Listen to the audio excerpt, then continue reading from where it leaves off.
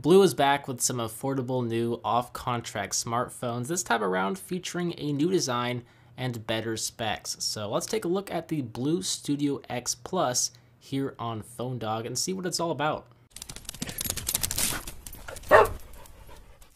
Hey, what is up phone dogs? Bo HD here, and the BLU Studio X Plus is BLU's new $149 off-contract smartphone that I'm just going to say it right now is probably going to be very tempting of an offer for a lot of you guys, as it features a very nice design and some pretty solid specs really, like a 5.5 inch HD IPS display, a 1.3 GHz quad core processor, an 8 megapixel camera sensor, 4G HSPA+, a microSD card slot for expandable storage, and best of all, it will be upgradable to Android 5.0 Lollipop.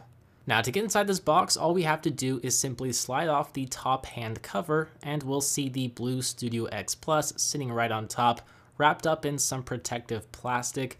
And it does feel pretty sturdy as I am setting it down to the side. I mean, it definitely has some weight to it and it doesn't feel cheap. But uh, we will take a closer look at this device in a moment because underneath of the Studio X Plus, we'll first find a blue user manual on top of a SIM card installation manual. Pretty simple stuff here. There's a micro USB charging cable used to charge the device included in here, as well as some included earphones with mic and music playback support controls. There's also a US wall wart with USB port, so you can plug in that included micro USB charging cable in here to assist with charging the X Plus. And then a battery, which is a 2600 milliamp battery that we'll have to install later, but it's also the same size as the upcoming Samsung Galaxy S6, which is a completely random and unrelated fact, but I thought that I would point that out.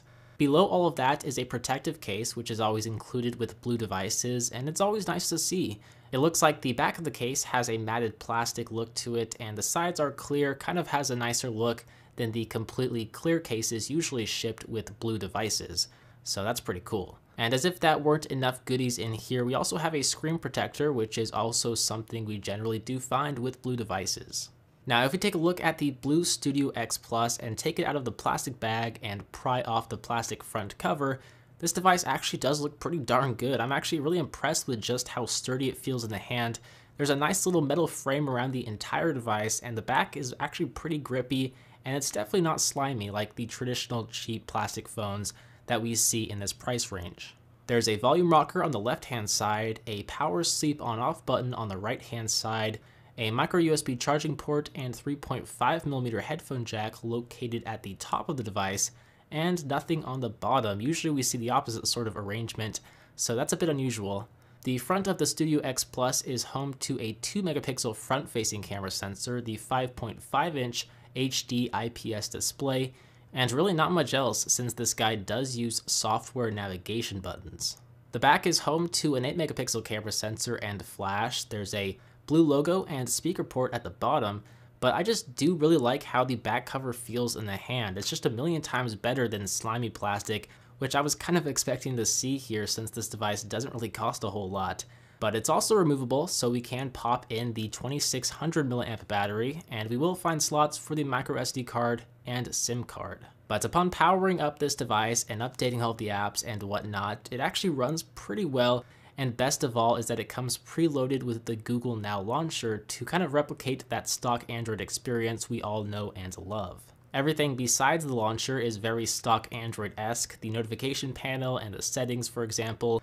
The biggest downside I would say is that the Studio X Plus ships with Android 4.4 KitKat out of the box and not Android Lollipop, but it will be upgradable to Lollipop, we just have to wait a little bit longer.